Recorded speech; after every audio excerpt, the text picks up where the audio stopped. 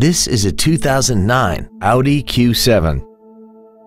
This crossover has an automatic transmission and a 4.2-liter V8. Its top features include a sunroof, heated seats, cruise control, a CD player, alloy wheels, traction control, air conditioning, steering wheel mounted controls, a HomeLink feature, and this vehicle has less than 14,000 miles. Not to mention that this Audi qualifies for the Carfax buyback guarantee. Contact us today and schedule your opportunity to see this automobile in person. Thank you for visiting the Larson Automotive Group, serving the South Sound for over 52 years.